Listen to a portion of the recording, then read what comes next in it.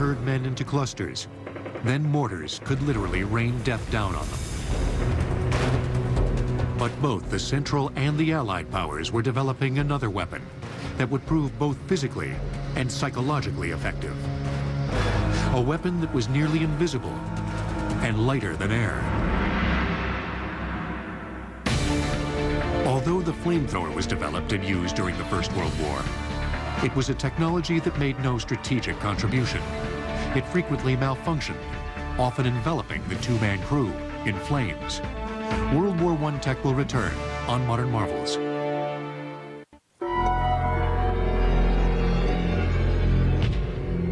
Chemical weapons were by far the most insidious technology of the First World War.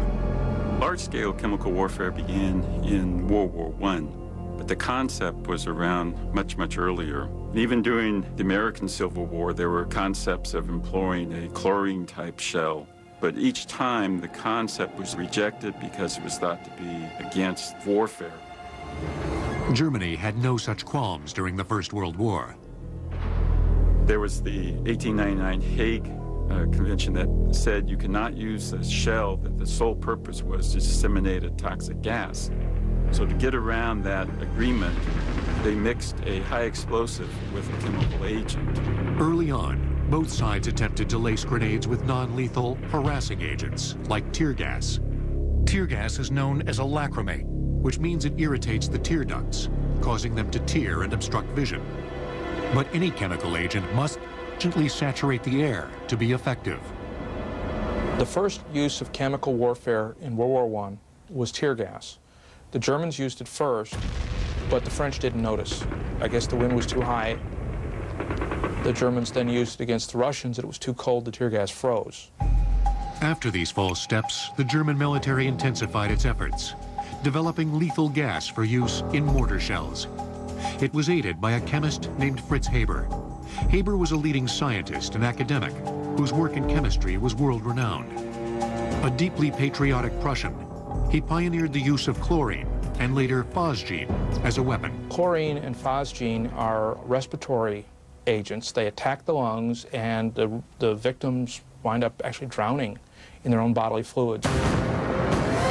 The Germans first used chlorine on the battlefield of Ypres, Belgium, in 1915, as they were attempting to push through the British and French lines.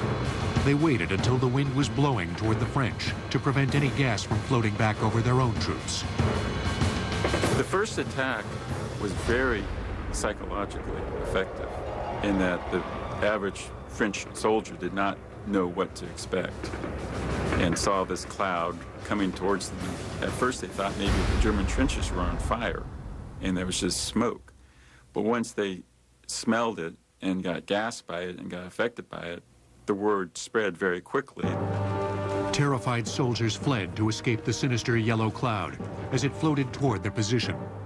The gas may have cost the British as many as 5,000 lives.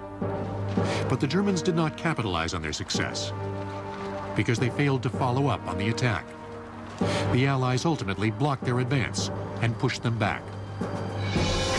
Shortly after Ypres, both sides began hurling chemical agents at each other. It was a chemical arms race as each side attempted to develop more effective weapons. But launching enough poison to create a cloud sufficient to saturate the air to lethal levels was a technological challenge. 75 and 155 millimeter artillery shells were long range and carried a lot of agent into the trenches, but it could take hundreds of shells to create a cloud. Once again, chemist Fritz Haber offered his expertise. Fritz Haber decided that one way was to simply use the chlorine in a chemical cylinder. Attackers could launch 20 to 50 times more gas in the cylinder than they could inside the much smaller shell, which also had explosives taking up space inside it. Launching the cylinders was effective, but it was a clear violation of the Hague Convention. Clifford Holliday remembers the first time he was gassed during a battle. It was a foggy night, and when they turned that gas loose, it just stayed right on the ground. But by 1916, Holliday and his comrades were now equipped, however poorly, to counter the effects of the creeping gas cloud. The first gas mask we had was a piece of square chamois cloth soaked in this chemical, and it was in a, a rubber lined bag with a zipper on it. And when you run into that, you just hang it over your nose. Ammonia and other chemicals in the cloth neutralized the acid passing through. Within a short time, however, defense technology improved, providing soldiers with masks that included charcoal filters, carried on the back, that neutralized the poison. This is one of the later gas masks.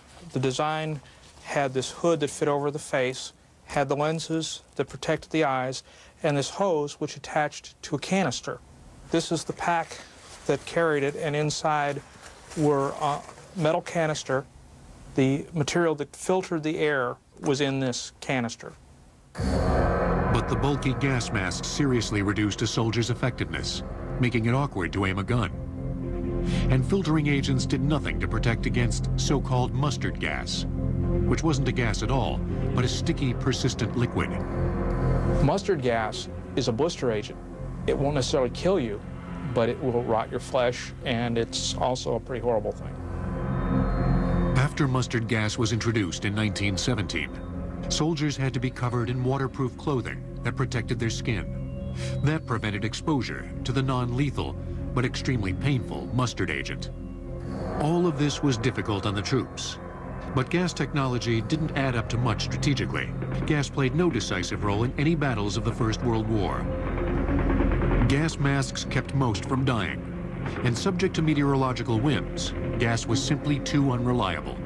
It just made everybody more miserable and had some casualties, but didn't, it was not decisive. Though gas injured more than a million soldiers, it killed fewer than 100,000, representing less than 1% of the war's death toll.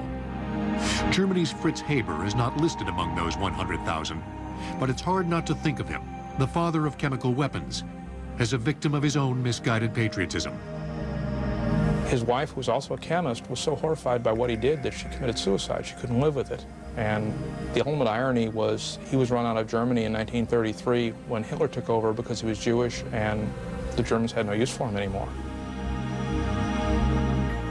A young Adolf Hitler was hospitalized during the First World War after being temporarily blinded by a poison gas attack. World War I tech will return on Modern Marvels.